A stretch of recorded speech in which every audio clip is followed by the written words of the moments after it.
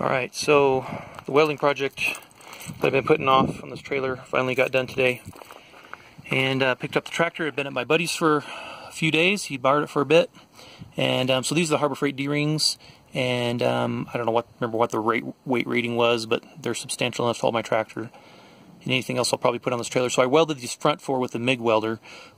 And um, just buzzed around here, buzzed around here and filled in the bolt holes right here and here and same with those now the mistake I made was right here where the original plan was to weld these on the side. I was worried about that fulcrum effect um, stressing my welds. And then I thought, well, I'll weld them right here on the top, and that way the D-ring just falls over here. And um, my buddy said if I put walls on here with the stake pockets, I'll want to put one on the front as well, and then it wouldn't sit flush. So here I can at least fold them up and um, drop the board in there. And so I took his advice and did that. Well, I wanted to raise this one up higher than the other three because it's the first one I did. Because the original plan was to make sure to get a good weld around the bottom here.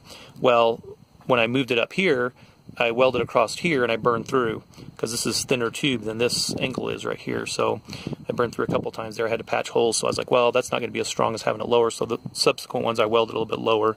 So if you're doing this, just something to keep in mind. Now these are C-channel sides, so they're pretty strong and pretty stout. The D-rings on the side probably would have been fine uh, welded on, but and then the back ones here.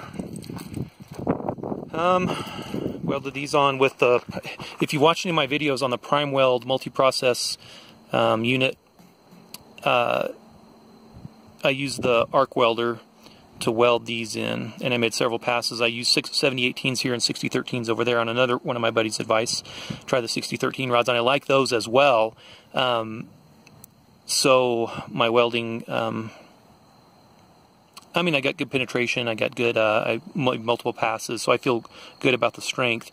And welded around here, of course, these holes though, these bolt holes, I welded with the MIG welder. Just it was just easier to get wire in there and get a bunch of heat in there um, with the MIG welder rather than trying to do with a stick. And uh, so I don't know, they came out okay. There's some undercut right there.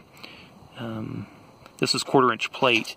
Um, I did this on one of my buddy's advice to weld this plate on here and then weld the D-ring onto that welder and weld the trying to weld the D-ring onto this little bit thinner stuff here.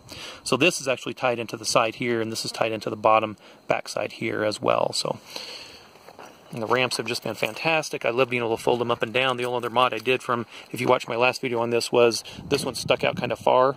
Um, actually, they did on both sides, and I ended up cutting them off because I caught my shoulder a couple times walking around the trailer.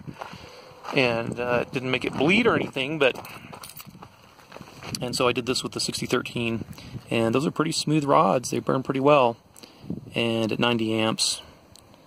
And so made several passes here, just mostly for fun.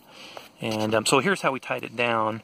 Um, because the box blade is almost as wide as the trailer, it's six feet wide. Um, what we did was we lowered the two outer scarifiers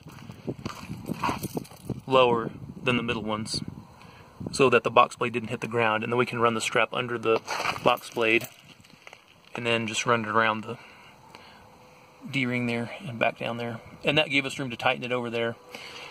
And then in the front here. So part of this video is so I can watch it later if I'm hauling the tractor and I can't remember how I did it. Um, just around the bucket there. And then there's two holes.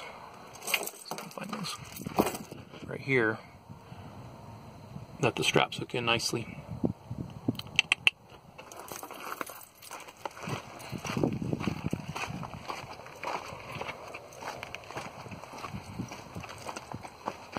Same thing there. Okay. And it didn't move. I actually could have brought it a little bit further forward um, and not even hit the bucket on the box.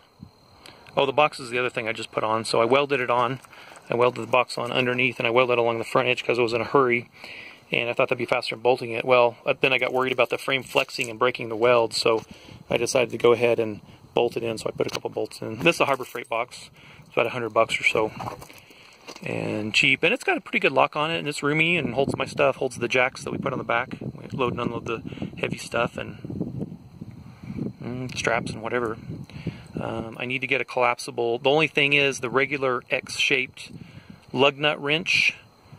Um, doesn't fit well in that. It takes up, you can't lay it down and you can't stand it up. So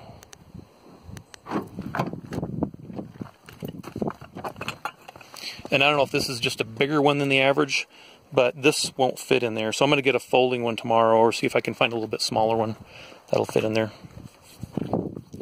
Just so I can have a lug wrench in there. I'll probably put a bottle jack in there as well, some heavy duty bottle jack, so that I can jack it up or, uh, yeah, probably put a bottle jack in there. That'll be the most useful thing. Okay, good. So